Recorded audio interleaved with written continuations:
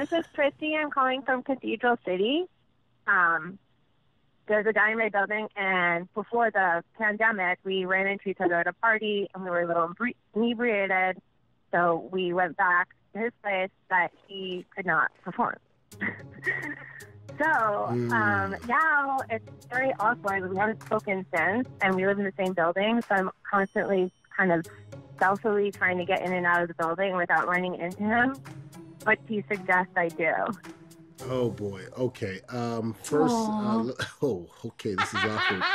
Um, it, how old is he? He's 50. He's 50. So his name might be Ed. Um, you can also spell that ED. And so there could be some things going on there. ED, he's could have erectile dysfunction. So, So I, had you, I'm kind of like, I didn't behave that well. He did, you know, and he's probably embarrassed, but I don't know what to do. you know what? Look, I'm a, I'm a young guy. I'm going to bring in one of my colleagues who might be able to help uh, to empathize with Okay. uh, with Ed. I'm going to call him Ed. Ed. Um, let me bring in uh, uh, uh, Terry here. Terry, why don't you come in and help Tracy with this? First of all, he may be old, but he doesn't have ED. All parts work well. Now, Okay, all Not right. to be but TMI. I have had LD in the past, not hmm? ED, LD, which is Liquor dick. They, listen, Okay. they went out. what it is. They had fun.